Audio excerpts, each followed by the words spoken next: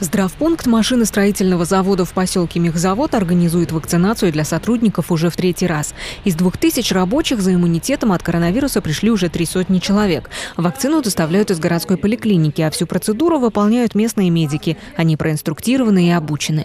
Алгоритм действия такой же, как в больнице. Желающий вакцинироваться заполняет анкету, врач измеряет давление, сатурацию, то есть уровень кислорода в крови. И если нет никаких противопоказаний, можно вводить первый компонент вакцины. Врач здравпункта Людмила Крюкова рассказывает, что полжизни проработала в поликлинике и уверена, что прививаться необходимо от всех известных инфекций. Поэтому вместе с мужем вакцинировалась от коронавируса еще в апреле.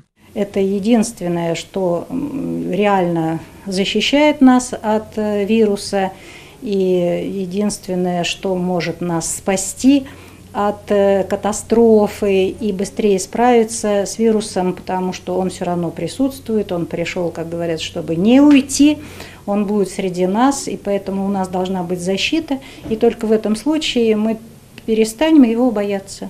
Чтобы сформировать устойчивый иммунитет, привить необходимо более 60% населения. Почти не отходя от рабочего места, заводчане получают заветную дозу вакцины. Все это быстро, удобно, бесплатно и добровольно.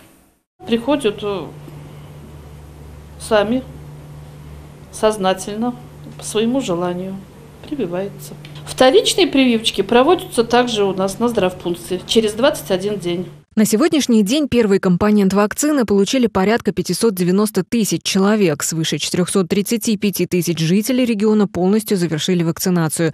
Таким образом, привито 39% человек от запланированного количества. С момента начала прививочной кампании в область поступило более 630 тысяч доз вакцины. В основном это «Спутник Ви». Более 56 тысяч доз препарата поставили в регион на днях. По поручению губернатора Дмитрия Азарова время доставки вакцин сократилось. Ее доставляют в ночное время, чтобы уже утром поликлиники и медпункты могли приступить к вакцинации. В прививочной кампании сегодня задействовано 66 организаций, 168 прививочных пунктов, работают 24 передвижных комплекса. Для повышения доступности вакцинации работают круглосуточные прививочные кабинеты в городах и районах губернии. В Самаре их количество увеличили до трех. Светлана Кудрявцева, события.